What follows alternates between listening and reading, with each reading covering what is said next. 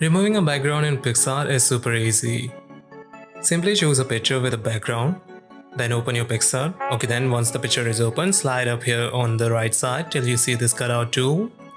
Now click on it and now simply draw on the edges of your image like this.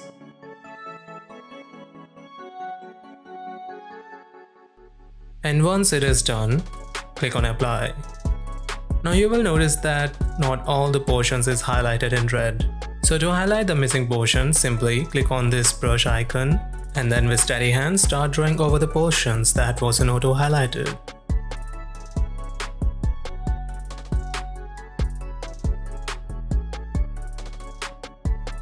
If any mistake happens like drawing outside the area that you don't want to, then simply click on this eraser tool and erase that portion. And then again choose the brush tool to redraw.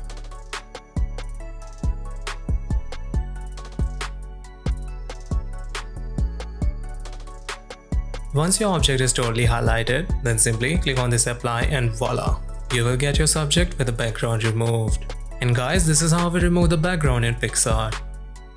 And also one more thing.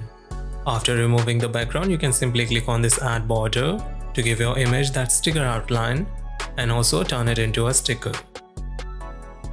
So guys, what are your thoughts on this video? Let me know in the comments section below. And if you think that this video is worthwhile, then hit that like button and don't forget to subscribe to my channel so that I can able to bring amazing videos just like this for you. Till then, see you later.